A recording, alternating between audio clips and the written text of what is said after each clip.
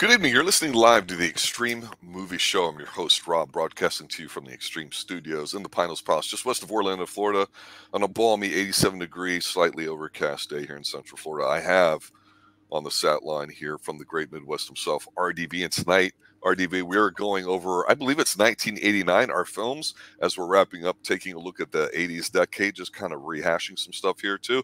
And boy, to use that expression from last week, which is annoying the last time I'm going to do it, we got a bunch of bangers here tonight.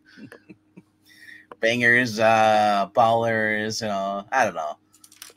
A collection of decent movies that are okay, but straight to DVD movies, yeah, or straight to VHS because VHS was just uh, about happening right around this time, I believe. Oh, it's been around for about ten years at this point. Thank you, uh, adult film industry, for leading the charge, t- technologically speaking. hey, you can't knock the adult film co- uh, industry. They're the reason why we have uh, chat rooms and uh, messengers. on that note, let's start chatting about some runner-ups. Now, again, ladies and gentlemen, as, as we file in here on the Xtreme Movie Show, uh, five years uh, into it, we've um, gotten an uptick in subscribers and said, you know what, let's revisit some of our older material. What we like to do occasionally is do themes, and one of the themes we have as an 80s based channel is top tens, not in any particular order yeah. as far as like the most or best ones or our favorites or whatever, but just collections of films that are noteworthy to talk about, plus runner ups. So go ahead and get us going there, Artie. All right. Dive right in going with our first runner up, came out on January 13th.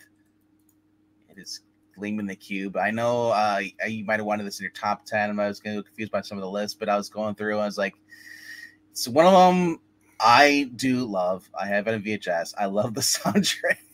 Mm-hmm. Um, like I said, this was late 80s, uh, just about the, on the cusp of 90s, skateboarding, Tony Hawk. Uh, and uh, about this guy. Basically, he hates his set, his uh, family. You know, uh, Christian Slater plays a rebellious teenager. Uh, he has a goody two uh, stepbrother, Asian stepbrother, who uh, ends up getting murdered, and he wants to find out well who killed him. You know, it's like you know, and because he's a delinquent, no one, no one uh, likes him. You know, trusts him stuff. So he ends up uh, with his friends solving the the murder. We'll be talking more about Christian Slater, dude, uh, in this uh, cast, I think. Yeah. but one of the things I wanted to point out, uh, two quick things, is one, having that whole old Hitchcock, and I'm not only saying Hitchcock not because he created it, but because he glamorized it at times, taking an average person, throwing them in an unusual situation, see how they respond. You get that here because you're right in the 80s. Oh my gosh, somebody was a delinquent and nobody will talk to him, but yet he's got a murder to solve. This is actually one of the few movies of the 80s yeah. that when we went to go watch it, said, you know, I don't think I've ever seen it. Let me watch it. And I was surprised. It's actually fairly entertaining, and it's not the schlocky crap that here in the mid to late '80s a lot of movies have turned out to. This mm-hmm. is this is a decent watch. I agree with you. It's it's very likable. Uh, and it's got I, some good action skate action film sequences too. you know, we talk about Sharky's machine and practical yeah, effects yeah. and people jumping out and all that. This one's pretty good. When it when it comes to Christian Slater movies, I'm guilty as charged, man. I I watch Pump Up the Volume and all those other ones. Yeah, me too even Alone in the Dark, as bad as that movie that is. I, I, don't know. Very, I would say my favorite thing of it, uh, if we're talking Christian Slater movies, um, this is outside the '80s. Man, I'm trying to think. Uh, my favorite movie by him probably is Very Bad Things. Yes, tremendous. Uh, that's probably it. You know, and and uh, get all that girl crap when they did. You know, uh, they did just recently did one uh 2017 with uh what's your name uh the girl version of Scarlett Johansson, Rough Night. Oh, that was a gender flip version of that. Got it. Yeah. when I learned oh. that, I was like, because I, I read the synopsis, like, I've never heard this movie before, and I'm like, oh, it's oh, this is very bad things where a male a male prostitute male stripper dies at a, at a, at a party, a party with girls. I was like, was the girl like picking up the stripper, who I assume was you know, played both yeah. sides and pegging him or something against the wall, like, like in, in very I, bad I didn't watch it. I just saw the okay. trailer for it, and I just laughed because like this is very bad things. Uh, Not gonna lie, this is an interesting title for a movie, "Gleaming the Cube." I have no idea what the hell it means, but it's no, cool when no, you see it. No. It draws your attention in. But the, the like you said, when it comes to '80s uh, movies with like with interesting songs, this wasn't a banger hit, but it was still like you know, it's like I, I can jam to this, you know. I can listen to my car or my Walkman, you know. I mean, I'm the pro- I mean, where the hell do I even find it on cassette? Is there even a soundtrack for this movie available to purchase? But uh, yeah, I've been doing some discovery. I found a site that has me, I guess, all the '80s uh, movies and all their big hits in the one album. That would be something. Yeah. Dude, yeah. So anyway, um, going into our number number our second uh, runner up of the night. Um, it is March third, and it is uh actually one of your picks. I've heard this movie but never watched it. Skin Deep. Tremendously funny movie uh, with John Ritter. We would know him obviously in Bad Santa and of course Three's Company as an actor. Yeah. I, it, Three's Company is kind of as a show it would be on, and you're watching it, and you know it's kind of really cheesy, even by today's standards. But people like him and all that. He's tremendous in this movie. This Blake Edwards is the guy that did the Pink Panther, and Mm-hmm. it was funny watching this. And all I'm going to sit there and say is, you watch this, don't read anything about it, and it's worth it alone for the condom scene. Yeah, and with I don't know, I just mean when I when I see John Ritter with a beard, it just makes me feel weird. It Because I- well, I, I- agree. It's I'm so used to him with the clean shave, you know, no matter what movie he's in, and then seeing him having that beard there, it's like I feel like we're going. He's going to start preaching to me. It's not that kind of movie. All right, and the car. Okay, that's right. So our next one is uh, well, it's the first of uh, well, two water movies that came out in the in the eighties, ladies, especially this year, March March seventeenth. It is Leviathan. what was your Uh, take on this? creature featured, man? A lot of these. Yeah, the creature wasn't. It was okay, but it was kind of like a thing underwater with aliens.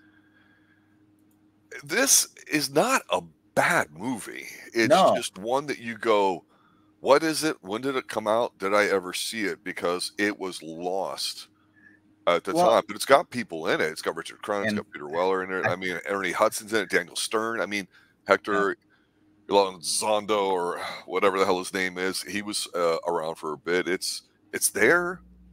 It's not bad. I, I always get this confused. Is this the James Cameron movie or is that the other No. one? That's the other one. that's, that's what I mean. Because they they are they they both take place underwater. There's both horror events, you know. There's you know, and just like yeah, it's and like this is either the Ed Harris one or the Ed Harris is in the other one. You know, it's like it's it's like I said, I always get these two movies confused. So uh, this guy who did it, Cosmatos Senior, yeah, he'd only did like a handful of films, but he had just got done doing Rambo Part Two, I think, a couple years before, and he also did Cobra. And then Oh. after this, he would go on to do Tombstone, and then some movie called Shadow Wow. Conspiracy. Yeah, no, I'm serious. This guy's got an eye. It's an, it's an interesting looking film, but the residuals, I've what I heard or read from the DVD sales on Tombstone Yeah. alone were enough to finance his son and one of his movies that had. Um, uh, that came out uh, was a Beyond the Black Rainbow, and then the uh, one that has Nicolas Cage in it, The Color of Night, or? Not The Color of Night, that's Bruce Willis, but the one we reviewed here that's like a uh, H.P. Lovecraftian type thing and all that. Oh, color of money. The color, color of money, but, but color of something, whatever, uh, whatever the hell it is. The Nick Cage, we reviewed them both here. But his son's got a really interesting take on it. But Color purple. His father. God damn it! This is annoying to me. I'm gonna have to friggin' Google it. Well, you say I get it. you start saying color stuff. I think I think of Bruce Willis with the with the, the So does everybody. girl. That's why Yeah. it's one of our biggest one. Mandy. Mandy. Okay, Mandy. Yeah. well, y- Crazy you- Bachelor and Mandy, where they go to kill his wife and torture him or Yeah, whatever. yeah. Well, it's the same guy. It's the same guy who did the color purple, or was you know was it? was, Well, we was- don't need to talk about that. Yeah, it was. It. But it's funny how we have these little um, connections because Hollywood's a lot smaller. And the more we talk Yeah. about stuff, especially from the 80s, we can see where things have branched out from it. I mean, and uh, again, it's, this is not a bad movie at all. If you're really hardcore in the 80s or you like creature features, it's one of those things when you're watching, you're going, it's not bad. Yeah. But then you go, where did all the creature feature films go to in the 80s? Because there wasn't Yeah. that many. So instead of watching whatever that Kristen Stewart underwater movie, watch this. There you go. All right. All right, our, our next runner up, real quick, like going through here, is uh one that I know you're gonna be mad because it wasn't on the on the top ten. Because uh I only because let me don't know here. Only I know because I, I I took our t- his list my list put together. Pixel obviously isn't here, didn't show up, so he didn't give me a list. So uh I tried to do my best to make it split down so we all had equal representation here. So our next one uh, got bumped the runners up, and uh, it also came out the same day as this, and it is also Fletch Two. You know, I can understand this beyond runner-ups. Honestly, I don't dislike it. It's not a great film. It definitely, when you watch it, you go, "Yeah, it's definitely a lesser film." But I think Fletch is one of the best comedies of the '80s. And but really, it's Fletch to me is man has there been a comic that's had a long and decent career as Chevy Chase has had Mm, as far as being and- on top, and he's had some misses, but this I- one I it's, gotta applaud. it's, it's solid. I gotta applaud him. He did every character in this movie by himself. this here, here's the thing I will say about Fletch Lives. Yep. It came out way too late. However, when I watched it at It a like four years, show- four, four or five years after the movie. The first exactly, I one. think, it was, I think it was four. Um, I watched it at a preview uh, with E from I Love Comics, and it was a situation I think summer of '89 where they were doing previews from the radio station. So they got a bunch of people in there. We managed to win tickets. We went, and they had all these gadgets. They had like they had the Fletch purse with all the disguises in it and, and, and all that. So it's one of those kind of cool swag Mhm. bag type gifts Yeah. that people talk on the mic before the movie. So people had a really good time.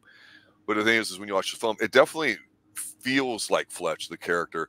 But you go, what's what's missing? You know, and you realize that his take on the Fletch novels, which had been around since the seventies, actually, um, it's just different. It'd been, it'd been interesting if you continued this up a little bit because it's not a bad film. And Chevy Chase, it's all because of him. Would you say it suffers the same fate or same uh light setback as uh, Ghostbusters Two? Too far apart. You know, it's possible because I'm telling you, I think I, I, I really do believe in like 88, 89, you're starting to go, things are changing culturally, not Mhm. just with music, but movies and everything to television shows. It doesn't have the same feel that the 80s had, say, in the early to mid 80s. And uh, it's hard to say, but as we start diving into the 90s and redoing some of our 90s content, and relooking at some stuff, I will continue to talk about how these trends have changed. Mhm. All right. I think Ghostbusters 2 did come out. Was it was this this year? I believe it was. Oh, I overlooked it. Oh well. It's not on any of the lists. As it shouldn't be. all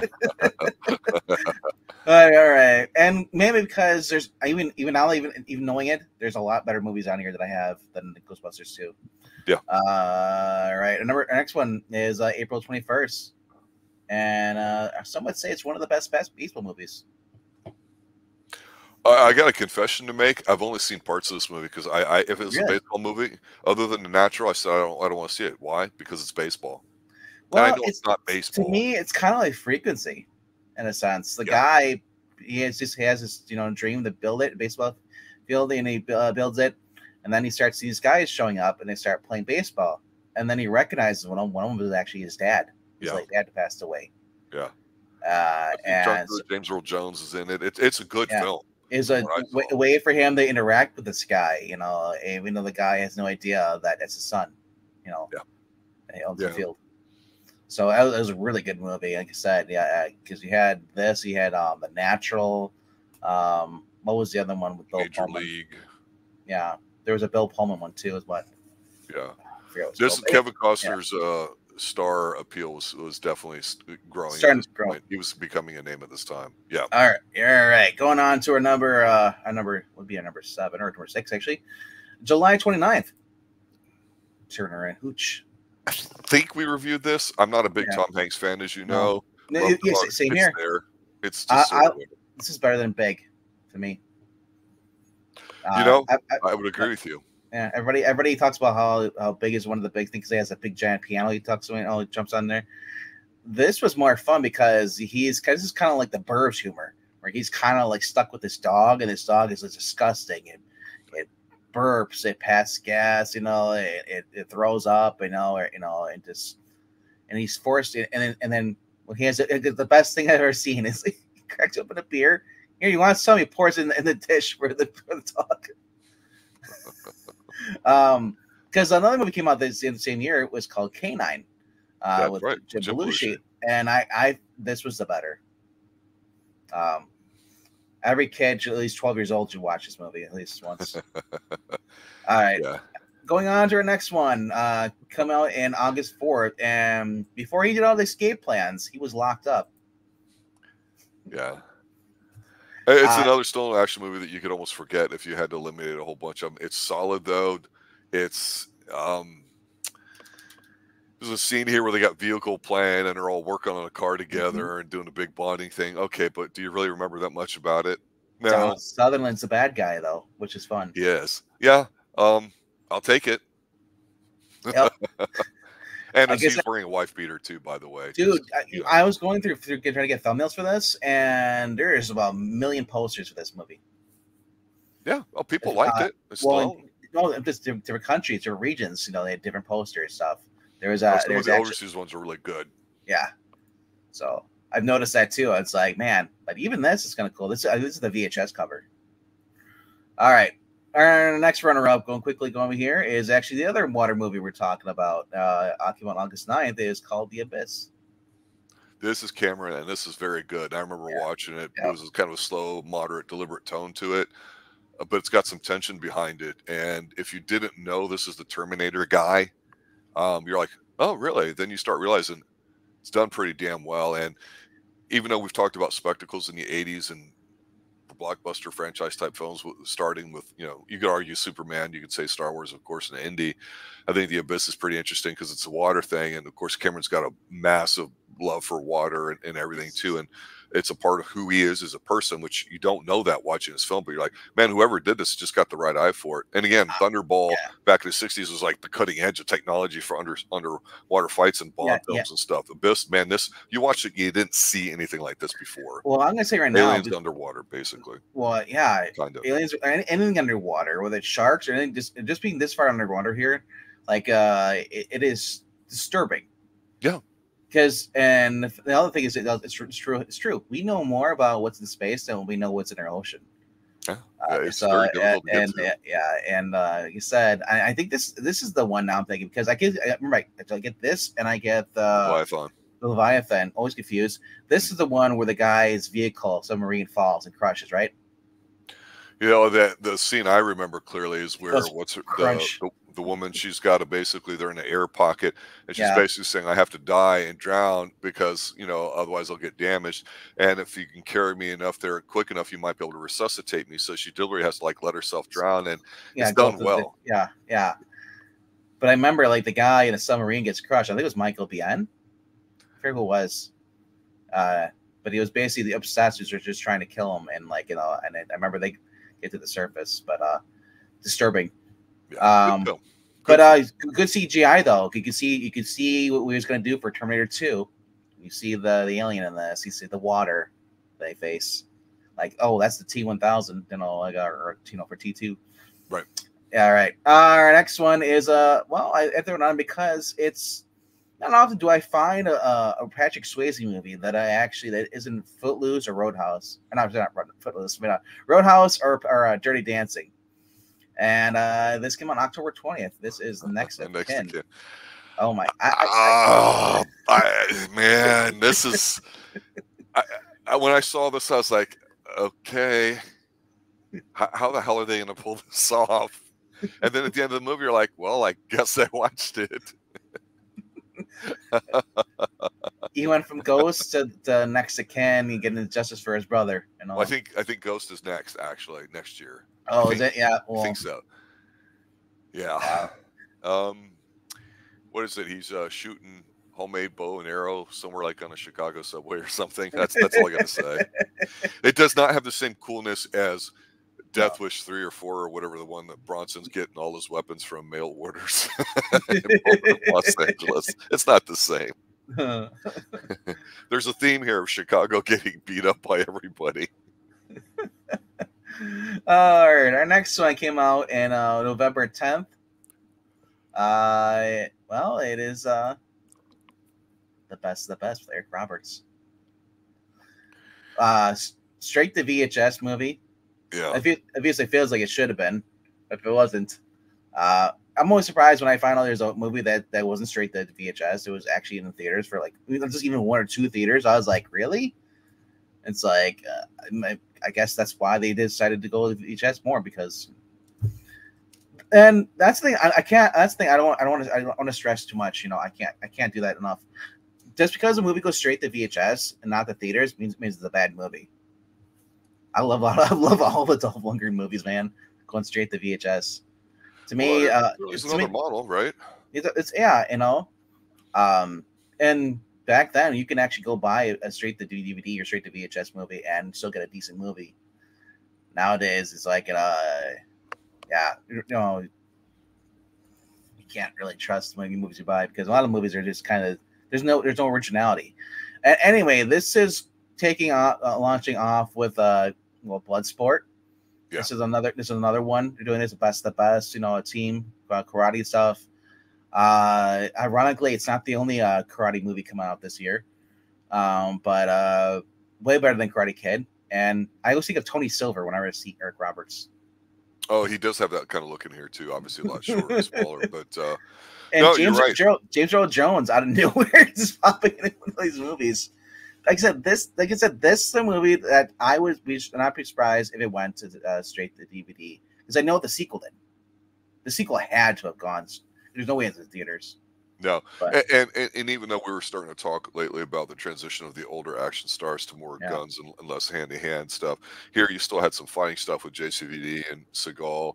Um, Jeff Speakman's movie would still come out, but these were still a cool thing to see. And if you were hardcore to martial arts, this is what you latched onto. Because surprisingly, I should say unsurprisingly, we talked about how all this ninja crap, yeah, ninja phrase is dying out at this point.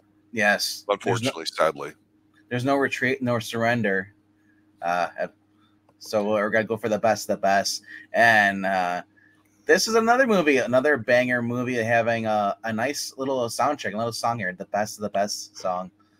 Uh, like I said, there's like just these generic soundtracks, you know, not the not the greatest. They're not, they're not Top Gun, you know, you're not getting Kenny Kenny Loggins, but you're getting you're getting um like I think it's John Farrell or whatever his name is, who also did uh, Rad, Thunder in the Heart and stuff. There's a lot of these, there's a lot of these guys who basically like they they you like or like Stan Bush. It's another guy. He did a lot of songs. You know, he did for the um, Kickboxer. He did one too, and it's it they're the one hit wonders. They're, they're the studio guys that work in the studios, and these are decent hits. You know, This is good as anything you'd, you'd see on cable today. pretty much. Um, I'm surprised this wasn't like a straight to cable. You know, Yeah, Or made Not- for cable. Yeah. It, it- it's a niche film if you're into that sort of thing. Watch. Yeah. Otherwise, you might. and there's like six of them or something like that now. Oh yeah. Oh yeah. All right, our last runner up for the evening came out December of 22nd, and it is uh uh, well, it's another Stallone movie. It is Tango and Cash with Kurt Russell, and Yeah, and I and I I, gra- I grabbed the German one back because I didn't, didn't realize that. these, these wheels, these cups, von Ella, you. Uh, anyway, if, if you're watching this movie, there's there's three reasons. The number one reason you're watching for the hot re, uh, Teri Young Hatcher before she joined uh, Dean Cain on Super and Lois, and uh, Kurt Russell was on fire. You know, um, Yeah. having done the thing, uh, and a few other movies. You know, uh, Escape from New York stuff. Uh, of course, Stallone was kind of uh, going into different roles. I noticed this. You know, because we had Rambo, you know, we had Rocky. Now we're getting him in, in Tango and Cash. You know, uh, soon we'll have in the '90s we'll have the Specialist Mhm. you know, assassins. Yep. So it is like I said, it was it was interesting because he looks like Harold Ramis in this photo. Well, he did intentionally try to dress up and look Yeah, this way yeah. at this point in his But- career, and uh, Yeah. yeah. I mean, he don't forget what best little whorehouse in Texas was he in that one? Whatever, Rhinestone. That's the one I'm thinking of. Rhinestone, yeah. Yeah. Um, he was he was willing to try things out in characters. I give him a lot of credit for So it. So, stop. My mom will shoot. well, I think he allowed himself to be the clean cut guy to allow Oh. Kurt Russell come in and be his scraggly looking self. Really, And it kind of reminds me of uh was it um uh lightning and thunder or what was it or thunder or was thunder and light Thunderbolt Light- Lightning. yeah. The Clint Eastwood uh movie with uh Jeff Bridges remember that one? Hmm uh, you know it's kind of the same thing. Both both partners dressed up in a, as a girl. For, for a thing. So it was it was it was it was interesting to say the least. I still watch I, I still like watch Lockup Lockup's more fun.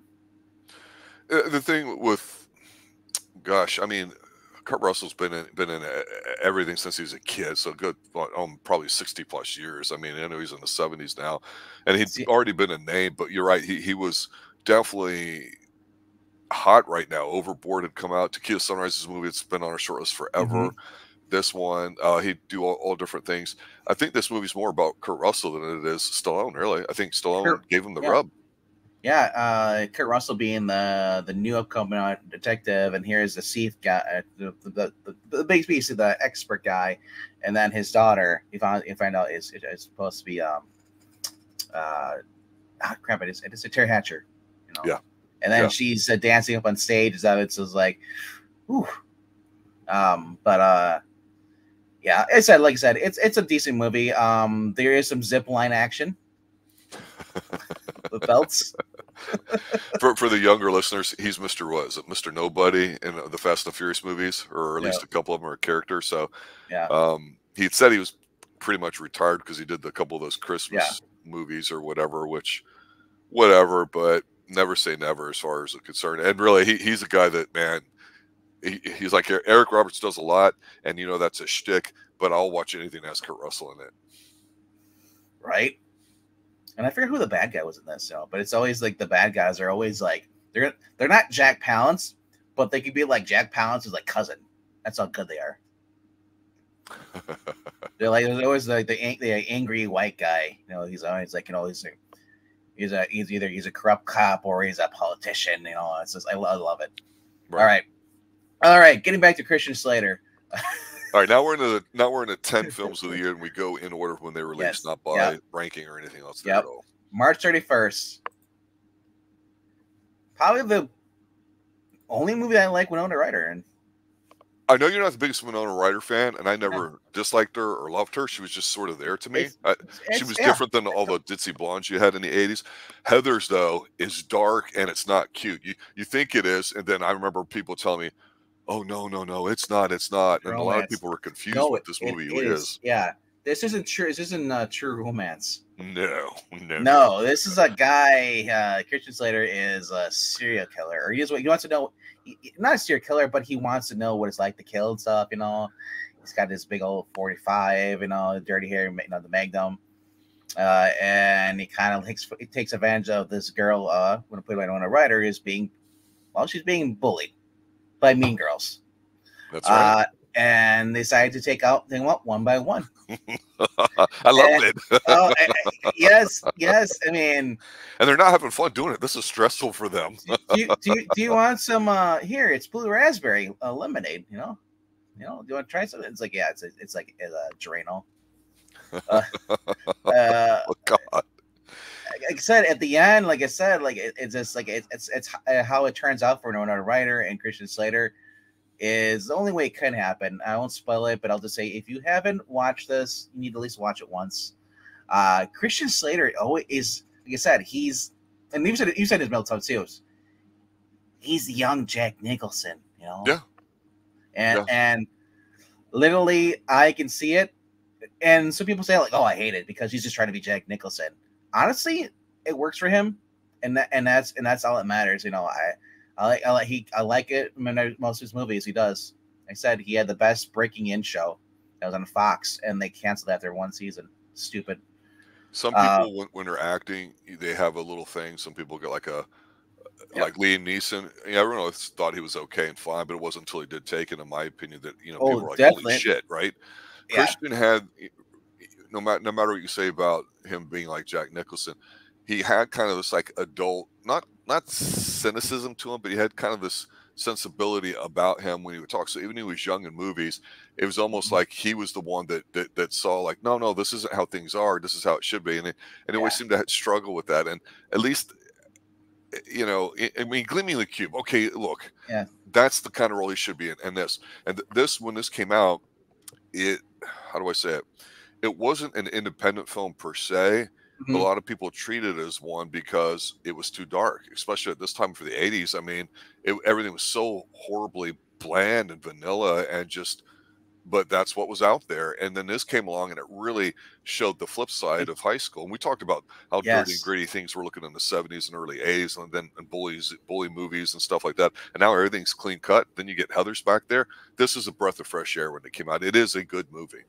It is. Like I said, Christian Slater. Like I said, he. You're right. He always plays the older roles. He's always got the cigarette, pump up the volume. He's Yep. calling the adults and their bullshit. Uh, he's always yeah the rebellious teenager, and I like it. Um, you know. So anyway, but going on to our second of the top 10, this came out April 7th. This is Dead Calm, one of the best movies I've seen with Billy Zane and Sam Neill. And I always forget that Nicole Kidman's in there. But I'll, I'll just say, you're, you're uh, hey, come across, these two as a couple, they're sailing, they're on a go, you know, and they're hanging out together. And then they come across this guy on this like a little dinghy or boat, you know, debris, and they bring him in and then, like I said, it, it just gets more and more intense because now, do we trust this guy? It's like pitching up a hitchhiker. You know, do we believe his story? You know, this is what really happened. You know, and Sam Elliott, uh, sorry, Sam Elliott, but Sam Neill is trying, basically, just trying to get his, uh, you know, protect his wife from this Billy Zane guy. And Billy Zane plays a really crazy guy in this. I love it. Yeah. Um, shame he wasn't Lex Luthor. They, well, they this. This is before people kind of made fun of Billy Zane for yeah. whatever reason, and this is also when uh, Twin Peaks was getting ready to go, and he, you know he became a character in season two with it. And I think from then on it was kind of lampooned, even though he's funny in there. Um, this movie is is very good. It's it's very quiet. Um, people forget. I think I think Sam Neill's Australian, as is Nicole Kidman. Mm-hmm. She might have been in a few small things before yeah. this. So this is before the uh, you know half a million dollars worth of whatever she's done to her face, kind of thing. Very natural looking, kind of beauty to it. it. It just feels a little different than an American film when you're watching it, and it's just one of those kind of simple films that you're really watching people act and do stuff that's not about plot per se or whatever. It's more mm-hmm. about the human condition and, of course, the isolation that you have being on the boat and the guy trying to protect his wife. You have a lot of these little different elements to it that you go, yeah. ah, but it, but but it builds up as it goes on, right? You got, you, got you got a flare gun to defend yourself. That's pretty much about it. You're in these. uh, if you're lucky, a knife, but. uh Well, here's the thing. A lot of times people will will do a movie and it's really of course about you know relationships and whatever the excuse is of the scenario and you pay attention to and uh, you know this one really dies dies into the to the whatever and you know the way people are making goo goo eyes at each other and things going on it, it's it's it's a very good film and it's very underrated because yeah. it's very quiet it wasn't an 80s action film it's a, like I said yeah it is a, it's a drama suspense thriller um it's the fact that it's in the middle I guess middle of the ocean on a boat and then there's two boats if you come across like I said you know uh, Sam Neill's trying to protect his wife and Billy Zane who basically wants to murder Sam Neill and take advantage of his wife, and you know, the point where he actually uh, leaves him stranded on his other boat they come across, and that's it's taking on water, and he has to try and chase after them to get to his own boat. And like I said, it's a struggle. It's it is it's awesome, um, fun movie. I wish there were right. movies like this. Oh, they tried rebooting this, and that was awful. Um, yeah. uh, it was dead calm in the, in the theater. it was. Not not a lot of people were watching this when I saw it. Yeah. All right the, the other movie that came out in April 7th and is one of my favorites. Um, Major League, man. Tom Berenger in a, in a goofy movie like this always throws me off because he's like the uh, soldier fortune guy. this is pre that because uh god what is it uh, someone to watch over me i think it's an old broadway tune, but it was also the name of a movie where i think he plays a cop that uh is protecting a woman and of course you know gives her the old uh little tom yeah. if you know what i'm saying and uh yeah so I think he, Tom was still finding his way through. But Tom, yeah. Tom Berenger's a good guy. We like Tom Berenger, don't we? Yeah, he's like Tom Berenger. Yeah. And uh, I forget what guy who plays the coach. He has a really raspy voice like this, you know. But it's like, I, I just love it. Um, if you're a baseball fan, even if you're not, even if you're not, you don't watch a lot of baseball, but you, you know, at least enjoy this like this sport. You know, you got Charlie Sheen playing like a Hot Shots character comes in. He's got punk and he's gonna and is like, he becomes their pitcher and like I said, this is where we get the whole wow thing, you know, by um yeah by uh Joan Jett, you know, version, uh, which is actually used by Jon Moxley in EW wrestling still. I love it. Um, I, will just say, uh, was it is, is Wesley Snipes in here too, right? Uh, Wesley Snipes. I mean, every single every, every, every, single baseball player on the team would have, had their own cookie little thing. There was one guy who was into voodoo everything. It, was just it's like basically it's the misfits, you know, uh, coming together into it because the Indians were losing so badly. They basically it's like um it's like the '80s version of the Mark Wahlberg movie, Invincible. You know, where they had tryouts for the Eagles. Yeah, but they had tryouts for the Indians, and it's, it's basically like I was like, oh my god, here comes anybody, and of course, because when you see when you see Wes, uh, Wesley Snipes comes up, he's like parks his car, he's like park over there, and then come in, and it's like you know, like let's just say great, and like let's just it's just re- just a reaction of the coach, and then of course you have the the the woman who owns the team and just like you know who wants to sell the team and all that stuff. It's just very it's very fun. Watch it. Second one is okay, but the, the big the big thing I was I deal with this movie is that Bob Uecker, uh, he's the he's a former uh, Brewers, Yep. Milwaukee Brewers uh, is also is the uh, basically the announcer for this, and I, I just love it. I never Uh, saw the appeal of Corbin Bernsen. I mean, he's he's not a bad looking guy at all. No, no. Um, but to me, he, he'll always be the dentist because I'm like when I'm watching the psych, you know, comedy show and all that, and he's like the, the guy's Yeah. father and all that, and so he's good in that. But I'm like, oh wait, he's the dentist, you know, because Yeah. I don't know, he just he never seemed to fit in into anything to me. And No. Charlie Sheen, who cares? yeah. Yeah, baseball. I, I, I do. I. I think Charlie Sheen actually made this. Looks like Charlie Sheen made Two and a Half Men. Yeah, I mean, it rides on his ability, doesn't it? Yeah, it does. Yeah, it's that kind of. Um, You have to whether have. he was, I don't know. Like I said, I don't know what he was like as a person at this point. If he was on hardcore drugs at this point, if that was lately in the '90s, but uh, but uh, he was pretty good in this. All right, um, April twentieth, Kickboxer. Man, this is a good one. I know. It's a Cannon classic, um, but it, but take the Cannon thing off of it. This this is a good film. Simple, it's basic. It's Yeah. it's, it's nothing surprising about it. Tong Po's a decent villain, but it's got everything you kind of wanted, and it's got some nice uh, shots being filmed where they're training, uh, with their sequences and the whole thing. I mean, Yeah. we talked about Bloodsport versus Kickboxer and how they're a little different, all that, but. Uh, This is a revenge for his brother. He's killed by this guy. Yeah, people don't realize just how fast Van Damme was rocketing up the charts because he's young. He's really a good-looking guy. He's and got the good. He's got the good hairstyle, haircut, and everything. He's, you know, he's, he's naturally uh, primed to be the hero. I mean, he is like young kids and and even men could look at him and go, "Yeah, I, don't, I can't hate hate on the guy. He's not a douchebag or anything like that. Yeah, he's a little French, whatever like that. But great body, great physique, simple stories, and all the other guys in action are now older, doing goofy ass different things. And here's a young guy that's looking good and kicking ass, and you go, "I like him kicking ass. Thank God Yeah. someone's kicking ass. Okay, maybe he'll do it." And he wanted to be in Hollywood so bad that he kind of flamed out once he. Uh, did some of the big movies like Time Cop and all that. He did it to Oh. himself, but oh, he- no, double trouble. Just well, you know, eh, you know, Double all went team. up his nose, if you know what I'm saying. You know, like a lot of actors and actresses. But Oh, this is a really good movie. It's worth watching. like, I said, he did in hell. We watched that one where you know he has to goes to goes to prison, the Russian Right. prison. Yeah, Right. fights there.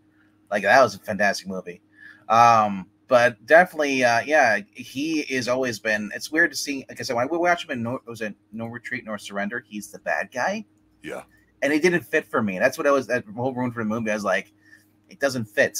And there's no way this little kid's gonna take out Jean Claude Van Damme. I was like, there's no way. Um, Well, when But- when you, when you think of JCVD, first thing comes to mind, Bloodsport. well, I was gonna say Street Fighter. Were you? yeah, because I because I remember that's the first movie I watched with him back in the day. And even though it's, it's like it's very loosey, but I mean uh, the, the whatever his name, the Raul guy who played um Bison, the big, big villain there, was awesome in there. And then you had Jean Claude Van Damme as the the American guy, and then you had so- um what her name Soto. She's in License to Kill. She's also played Vampirella movie. Oh, okay. Yeah, she's she was in uh, I believe she was in there too. She played I think she played Kung Lee or, or, or no no no no no it's not her. No Chun Li. It was was um Ming-Na Wen was in there. Like I said, so I mean, but uh, yeah, like I said, Kickboxer, Bloodsport, and like Street Fighter are the big things I remember for this. You know, but honestly, I think his best movie was Time Cop. Well, he would have you believe that, but Yes. he's not. The, the, to me, this is the essence of who he is. This film here, it's it's not. I, I can Oh. understand what you're saying about Time Yeah. Cop. I just, I'll just gonna hardly disagree with you on that. It, it, it was his crossover film to make him at the same level as Arnie and Stallone, Stallone, that. yeah, yeah. but you look at the, you look at the background that Stallone and Arnold had, really kind of going up. And again, Stallone's going back to what mid '70s, early '70s. yeah, Same thing with Arnold, if you think hard- about it. hard target was the other one he had too as well. Is he punches the snake? Yeah, I mean, uh, but it just Yeah. this is not actually a bad franchise either. No. Um, my only complaint is that he kind of left the franchise, and then he got Sasha Mitchell from Step by Step. Cody, uh, cousin Cody took over. I was like, really, this guy? Yeah. And then, and then I think the latest was was Scott Adkins, one, uh, one of the guys here. Um, I think no, Batista was uh Tong Po, one of them. I just Yeah, yeah, yeah. I just, yeah, I just remember it got a little slightly rebooted. yeah. but they kept the numbering, which really threw me off. But uh, anyway, going on to our next one. Our next one uh, came out in May 19th. That is, uh, we're halfway here now. We're at number five. This is Roadhouse. I want you to be nice. So it's not time to not be nice. Um, a lot, a lot of controversy. I mean, not a lot of controversy, but a lot of popularity with this movie. So, I mean, back then, and especially today now. Especially the fact that they're Jake Gyllenhaal is doing a reboot of this, Yeah. uh, which is basically they've said that it's going to be an action movie and, and not really like what this was. This was kind of a your thriller, kind of with a little bit of action season here, but not too much action. I, I you and I had this uh, disagreement backstage. I thought the current trailer for Roadhouse is actually a good trailer. That does not mean the movie's going to be good. No, but I can see what you're saying if they're wanting to turn it an action movie and emphasizing all that because I think obviously despite the physique and Conor McGregor and all the different little pops and twists Mhm. they're going to put in it, it just doesn't have Patrick Swayze's charm that everything it just around. seems like it seems to me when I when I especially when I look at the Jake Gyllenhaal, I look it's, it's going to have the only story it's going to be is just him just fighting. It's just going to be it's just going to be. A, that's it. Nothing else. It's, it's not going to be as far as anything with the Roadhouse whatsoever. The Yep. Roadhouse, yeah. So there- there's going to be like a Miami thing. I was just like, why are you changing it up a lot? You know, you have the simple uh, premise. You just got all you got to do is have a guy come in, stranger off the street, uh, work at a bar as a bouncer, and that's really all you need to do. And so don't put it in Florida or Miami, whatever you're doing. That keep keep it like like what this was. This was uh, was this Missouri, right? I don't know, somewhere in the south. I, I, I don't know. I don't, like I said, it was like I think it was like I think oh I think they're in Jackson, Missouri.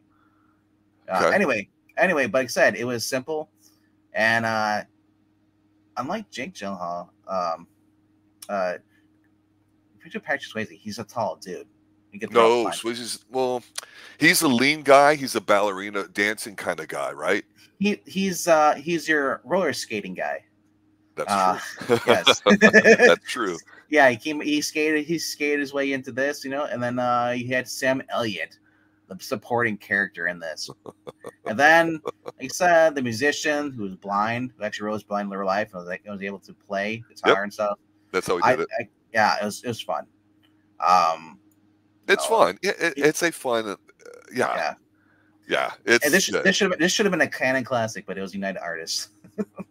Well, it's funny because I was going to ask you, how did you think? How did the movie like look to you the way it was filmed? I thought it was filmed pretty decently. Okay. Um, like you said, they really fo- they really focused on him, like especially the being the new guy in town and seeing people getting get out getting getting uh, shakedown by this other guy because this guy wants to basically own this whole town. hmm Yeah, and at the end you get the kick. The, it's, just, um, it's it's a it's a Chuck Norris movie. it's true. It is, and, and that, that's what we want. That's what we get. The guy that shot this, uh, Dean Cundey, he's the same guy that did a lot of Yeah. uh, films I mark about with Halloween and The Fog and all that. But he also, of course, just got off of doing uh, this this little tiny film uh, Yeah. called Back to the Future and all that stuff. Roadhouse, Who Framed Roger Rabbit. I mean, Mhm. this is a good looking film. When, when I when I see the trailer for the for the new one, I go, yeah, it looks like an action film. They could have called it Miami House, and I wouldn't have known any better, right? Yeah, And it yeah. could have been like the same setup, right? Like an anthology. Then you could have Atlanta House or you It's- know whatever. it's and it's just a body. Yeah, it's it's got nothing, none of the charm uh, of of the first movie at all. It's- it, it doesn't seem like and that's why it's yeah it's it, the the new movie is in same sense that we we watched the movie called Joker. You could have called it anything else, but because it wasn't a Joker movie, it had nothing really to do with DC whatsoever. Right. Yeah, so it's like the same thing. with Jake Elliott. You could call it. You're gonna call it Roadhouse, but it's not Roadhouse. Right. Yeah, Yeah, yeah. It's I I don't. I mean, it might be a good movie, but it's going straight to Prime. I hear right. It's not even going to theaters. I don't even know.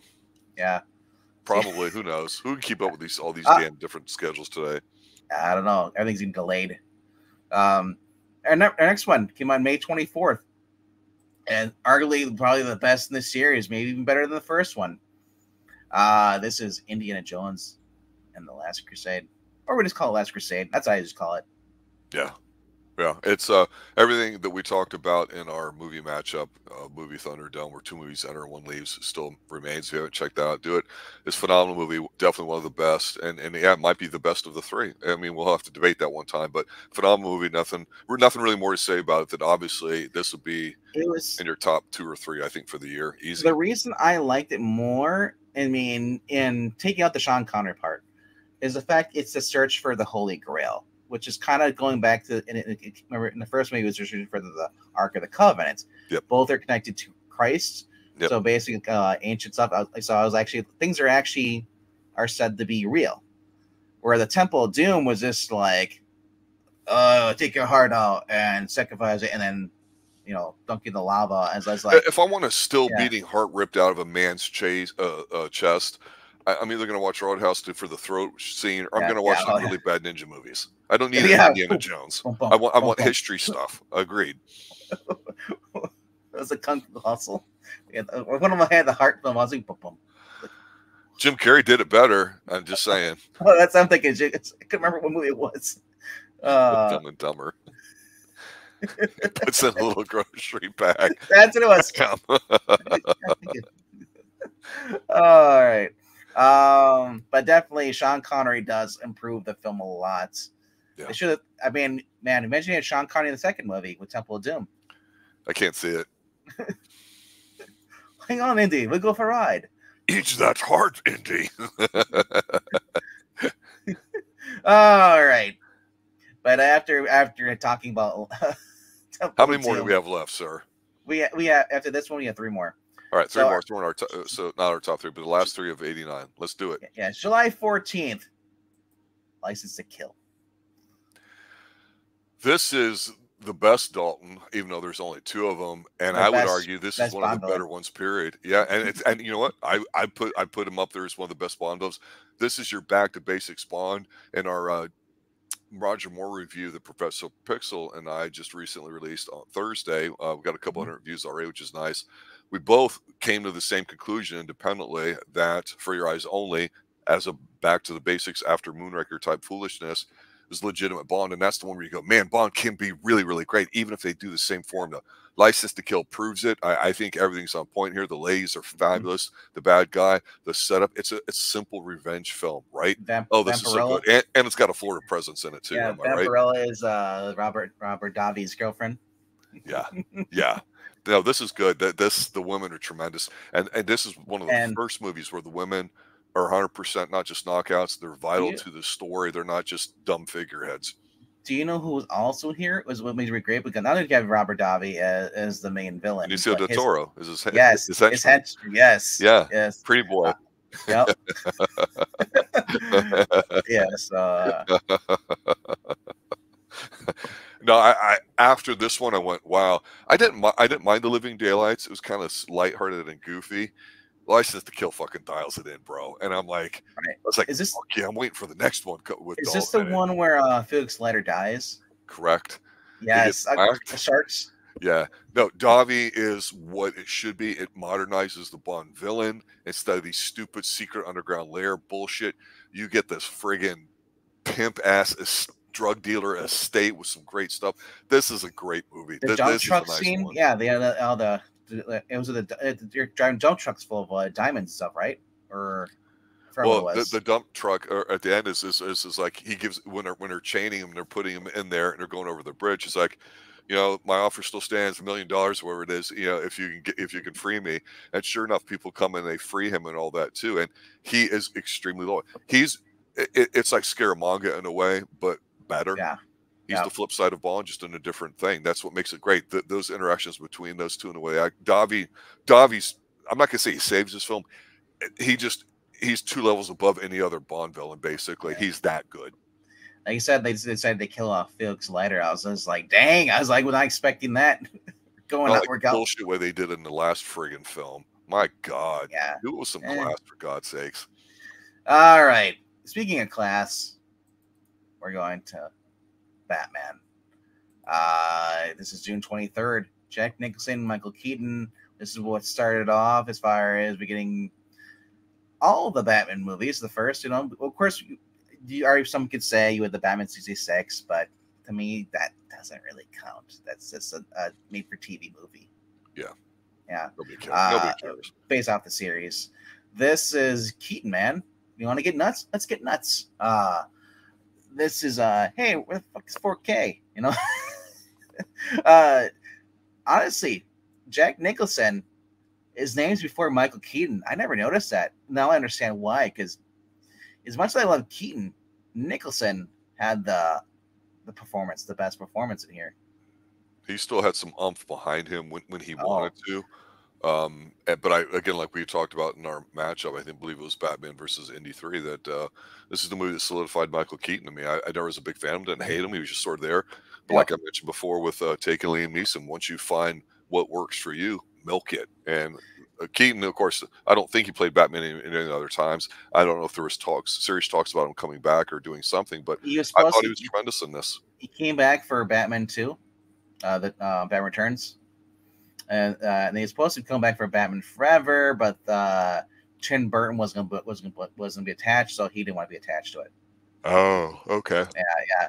And Jack Nicholson had said in a recent interview, or at least in the past couple of years, he said the Joker is his favorite role because you're so free to be evil and do what you want to do. And he said, I he said, and kids love to be scared. So he's like, I, I was like, oh my gosh, I want to do this. He's like, that's why he signed on for this project. He just had fun. He's like, I'm gonna be the creepiest one of this, and he was. To this day, he's still the creepiest Joker. I think Ledger- the wire yeah. that they put in his in Yeah. his lips to hold that up, and that's much better than Oh. any of the shit from the last one. I like the Dark Knight with with, uh, Ledger. It's a different Joker. I mean, yeah. So I mean, it was still good, but I mean, I I can't. I mean, you had, then you had Gotham. They had their own version with the face kind of cut off and just taking.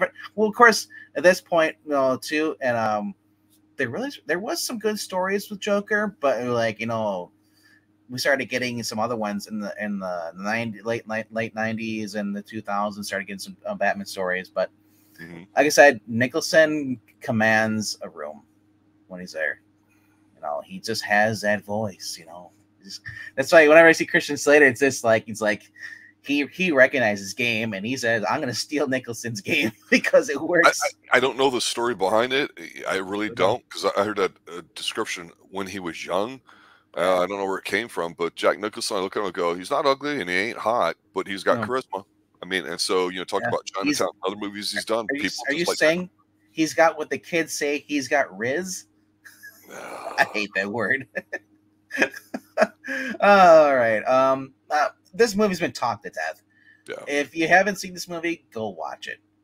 If you have seen it, go watch it again. Uh, don't go watch The Flash. I don't care. Mike Keane's in there. I don't want to see it. Um, all right. Our number nine, uh, July 7th. Diplomatic immunity didn't revoked. Oh my gosh. Hot girl gets bumped off. Uh, we learn about what really happened to uh, Mel Gibson's character's wife. Uh, and uh, yeah, it's uh, evil German guy. Uh, is uh, he's uh, yeah, is using his diplomatic immunity to get away. Uh, you know, skirt the law, and uh, yeah, fun scenes, man. How his his house gets blown up. His little trailer home on the beach gets blown up. How dare they? And they, they tried to kill him and his dog. And they killed his girl who used to work for the, the German guy. I, I will say this. I think it's fine.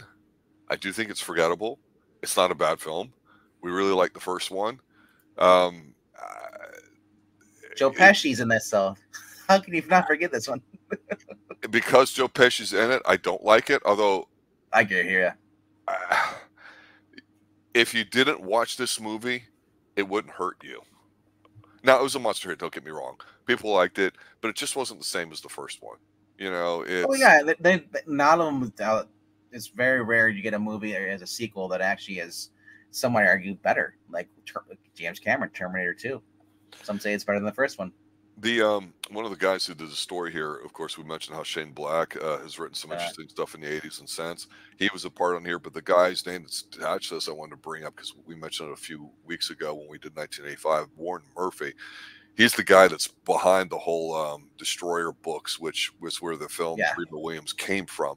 So I thought it was interesting. You had somebody that did all this too. Now this guy also, uh, in addition to doing all that stuff, he he did one of the better spy movies you and I really like with Jack Nicholson at the Eiger Sanction. And I'm like, man, this guy's, you know, they had, you think about this, this is the late Mhm. 80s and it's a sequel of an action film that they and don't it's have Shane to, Black. and, and then, but, but they still have what you would consider heavyweights behind them in terms of writing ability. Not just writing a script is one thing, writing books is another. Being able to do both is not the easiest Yeah. thing, but translating them over that, they still had it behind them. I mean, um, Yeah. so it's, it's good. I, I just, yeah, when, when you say the comedy part to this, I, I kind of almost liked the, the tone of the first one better, but that's just my that's just my uh, take on it. Yeah, I guess uh, like the first one was a much more different take because Riggs was actually suicidal. In this one, he's actually got happiness. He's not suicidal anymore. Towards the end of the It's first like movie. the first So, movie didn't exist. Yeah, Yeah, kind of. Yeah. it's kind of weird. Uh, I don't know. Like I said, it's it's kind of like it's like it's still enjoyable. I, it's uh, unlike uh, Predator Two, which is horrible sequels. uh, or I guess you wouldn't call it a sequel. You just call it a reboot because it doesn't have Arnold in it whatsoever. Um, yeah, but like I said, this is Shane Black who went on to direct Iron Man three. So when you go watch, like I said, I, I, I swear by this, watch this movie, and then go watch Iron Man three after this. It is scene for scene of the same. It's the same story, same formula he uses in this one. Uh, hero, hero, uh, you know, gets you know loses home, uh, loses girl, you know, down in his down his luck, as evil villain, and yeah, you can see it side by side. It is it is insane how Shane Black just recycles this movie. but uh, anyway, our last movie is probably one of the best John Candy movies I've seen. Uh, other than Planes, Trains, and Automobile and a Great Outdoors, this is Uncle Buck. yeah, Uh, oh my gosh. Uh, this came out, uh, I believe, in uh, August 16th. Yeah. And uh, I, I hate Home Alone, but I but I, I prefer Macaulay, I prefer Macaulay Culkin in this. This is this was better. this was mu- better than Macaulay Culkin's Home Alone. And I'm I know people are like, well, Home Alone is how do you not like Home Alone? I've it's se- annoying. That's why. it's, I've seen it like 20 times. and not but not by my choice. I saw it maybe once or twice by my choice, and after that, it's like, of course, because now I'm older now. I got I got nieces and nephews are like, "Oh, I want to watch this." I'm like, "No, you don't. You want to? You, if you're gonna watch any Home Alone movies, you're gonna watch the second one because it has Donald Trump in it, bro. 45. Uh, uh, no, but like I said, this was I love this, and we've we've had E on the channel before talking about this. You know, where he's like, you know, he's, he's you know, he's when he's trying to scare the the older the older oldest uh, uh his niece, his oldest oldest daughter, yeah, and and basically scare the the, the punk. You know, he's like, hey, your your your name's a Nat. You know, Hatchet. Oh, I split a, a, a gnat. You're, oh my gosh, you're an insect. You know, I, those are it's the same. Gnat, you know, gnat, gnat. It's like it looks like it. He just takes the hatchet out, sharpening. He's like he's gonna trunk his car. His car backfires. It sounds like so when they post this, drop him off, it backfires. Everything, everybody's afraid there's a shooting. And the thing is that back then you could laugh about that. yeah. It's that- not a big deal. and it's a John Hughes film, uh, which was probably one of his last great movies he did. Because after this, it's Al Bundy, right? Well, we did. We covered Dutch, like was it Yeah. two or whatever? Yeah. whatever. Um, I don't think there was really any John Hughes. There might be a few. I don't. I'm- don't. Can't recall. I think they were all in the '80s, pretty much. Well, no, he had a chunk in the '90s, but you wouldn't really know that because he No. didn't really direct any. any- I think he directed one or two more, and that's it. But he wrote he wrote several more uh, up until when he uh, you know passed. I, the thing with John Hughes is I, I have a love hate relationship with his films because I think he's got a great tone to him. Uh, he definitely gets a lot of the right people in the right roles for what he's Mhm. doing. I do also kind of blame him for the uh, romanticizing just how swell the '80s were and how everything's perfect. but it's just you know really rich kids from from rich backgrounds in rich Chicago northern suburbs, and it's cool and all that, but it's it does it just lacks the grittiness of with the reality of what most high schools experiences are up to this point. But it, it but he does it so damn good. And, But- and damn yeah. it, John Candy's phenomenal in this. he's romancing uh, as far as Chicago, making Chicago look great and stuff. You know, uh, you know, he's Blues Brothers was another movie. You know, they were in the train. They're, the train goes by and they're on their room. They're just shaking on the bed and just kind of like falling around. Same thing with him. He lives, you know, he lives in uh Skull. He's, but uh, John Candy, Oh, I'll say this yeah. for my last comment. He was, um, I think, he got a start on SCTV, which is what Second City Yeah. Television. I think it was Canadian or might have been out of Chicago, but somewhere up there. And a lot of people that are really popular today, um, the, you know, Martin Short's another one too. They're all Canadian up there, Toronto area. Uh, and Candy, I remember him from that, going, okay, this guy's got some stuff. And he was in a few low brow type movies in early age before he started hitting it big. But man, those guys just have tons of talent. And when you watch some of the old skits that they're in, you're like, man, people wouldn't even do that kind of humor today. And and it's just really, really good. And the one show that um, I can't even remember the names, but it was really popular for a while, half hour one that had a bunch of people. The guy with the bushy eyebrows that was an American Pie and all those other ones. His son. oh, Eugene. Levy. Yeah, and um, and his wife, the character, the lady that plays his wife in this TV show, they're like rich people that basically uh, have to live poor and they don't know how they're, they're learning how to adapt. That's the comedy behind it. Funny show, but the writing on it, all those guys have been doing this for 30, 40, 50 years. Candy himself, Yeah. should he have been alive? Yeah, Ken, Candy was really, really great. I, there's nobody really like him right now. Yeah, I miss him. He's just a fun guy. You know, think of planes, trains, and automobiles, and Uncle Buck. You're like, man, this is. He's just that kind of guy. I, I don't know how to explain it.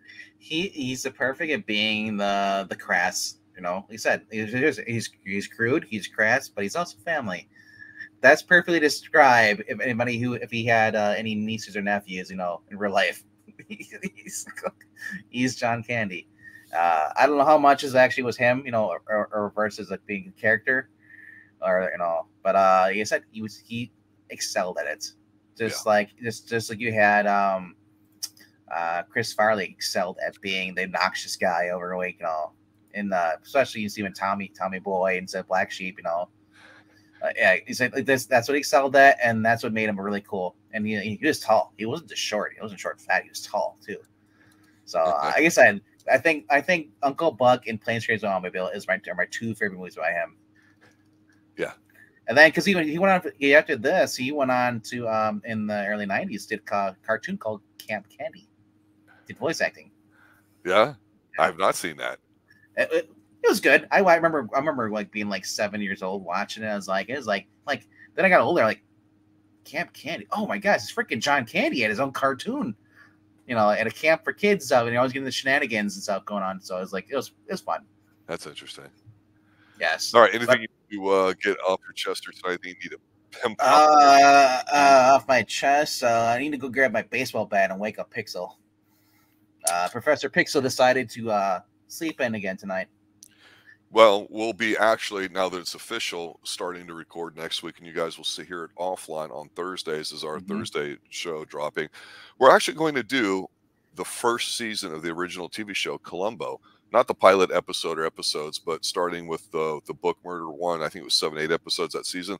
The original Columbo show. We will be doing that on the weekly drop drops, so check that out. Um, I think it's an interesting choice. Just watch the first episode stunned by how good it was. And, and considering I'm not the biggest Columbo guy in the world, but uh, definitely for a show that's over 50 years old, I'm like, man, this is pretty tight. I know everybody's Yep. you know talking about um, this show that's out now on Peacock that's got the girl in it that's got this thing to it, and it's just it's like they, they just fail fail miserably. Here you got a wow, really strong uh, mo- uh, episode to talk about too. So we'll see when that drops here very soon. But um, I don't have anything else other than Tuesday night. I think we have a decision made already, don't we? Yep. And that would be Well, Tuesday night we're going to be going uh, back to some. uh Well, not nostalgia, basics. yeah, Well, the basics. We're going back to our, our kicking at roots. We're going to go to some, some martial arts. We're going to get some uh Cynthia Khan come back. We're going to do In the Line of Duty number three, uh, which is also available on Tubi TV right now. So Yes. uh, we already did uh, one, two, and four. So we figured we'll get the third movie in there. So we have a nice little uh, roll or a run of this. And like I said, um, fun. I love I love 80s martial arts stuff, especially especially in, in Japan, in Japan base, because Mhm. I love seeing how adapted they are to the Western culture. They are. It, it's just it's just fun. Yeah, yeah. it'll be it'll be a fun uh, watch Tuesday night when Yeah. we do that. Yep. Anything else? Nope, that's about it. All right, guys. Thanks for watching, listening. Have a good night. Stay extreme. Anything else? Well, Sound like ya- you had something. No, I was gonna say we'll see you on Tuesday nights. There you go. Good night now.